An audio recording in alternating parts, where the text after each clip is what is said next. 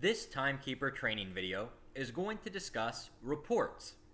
We are currently logged into VATAS as a timekeeper and we are at the timekeeper main menu.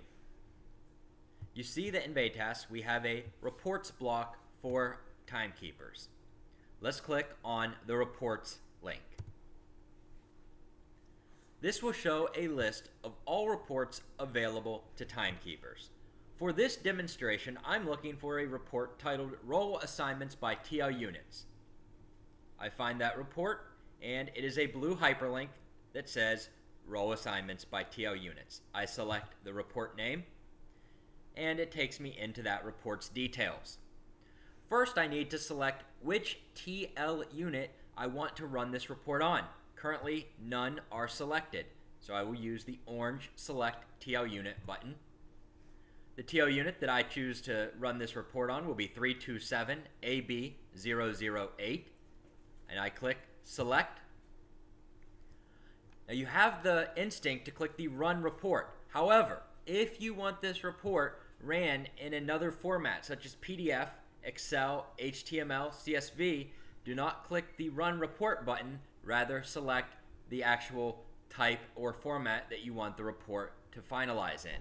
In this example, I choose Excel. When I click Excel, I have the blue banner telling me that my report has been requested, has been scheduled to run immediately in the background.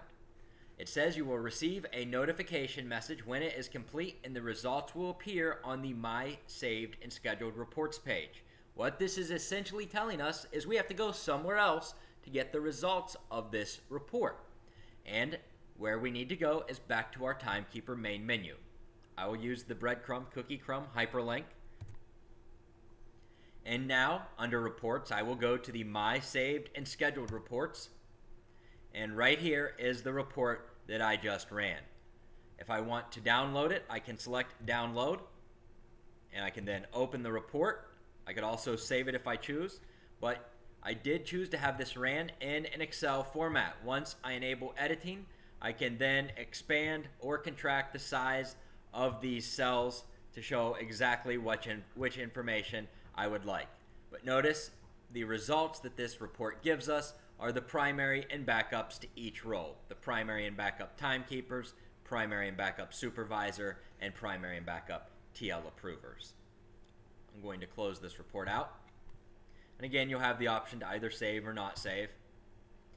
Another thing that's extremely important that we want everyone to get into the habit of, once you've ran the report and extracted the information you need, we want you to delete the reports off. You can either delete them one by one over on the right, or you could put the check in front of the report and then select delete. Notice you also have the option to email the report should you want to email the report. We want to delete it, so we will select delete. It asks if we're sure we want to delete the report, and we select yes. Going to go back to our timekeeper main menu. And again, this VATAS timekeeper training video detailing and giving an example of how to run a report in VATAS.